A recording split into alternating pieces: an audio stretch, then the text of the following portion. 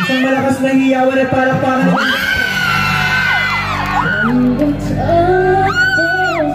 Thank you po.